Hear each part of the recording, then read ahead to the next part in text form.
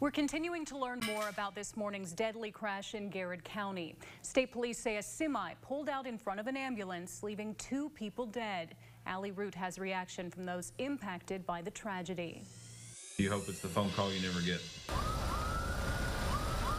Members of the Somerset community are devastated after the loss of local EMS worker Chasten McHorter. He was 26 years old. Kentucky State Police say he was driving a Somerset Pulaski County ambulance when a semi turned in front of him, causing a fatal crash. McHorter and the patient in the ambulance, 75 year old Robert Cottle, were pronounced dead at the scene. We're all hurting, but I hope that we'll also pause and be thankful that we have folks that are willing to to do this work, that are willing to put service above self in spite of the risk and take care of folks when they're in their time of need. Bobby Chapin has lived in Garrard County near the site of the accident for several years.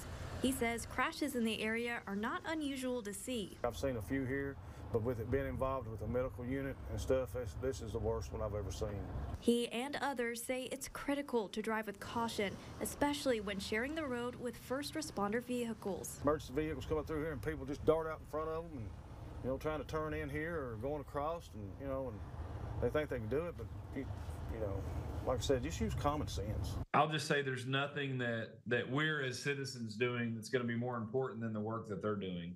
No inconvenience should trump uh, us being in a hurry. Following Monday's accident, McHorter's widow posted on Facebook asking for prayers. She says he loved his kids more than anything and that he would do anything for anyone. Somerset Mayor Alan Keck says McHorter started with Somerset Pulaski County EMS in late 2022 and quickly became a cherished piece of that family as well. You know, his father works for our agency.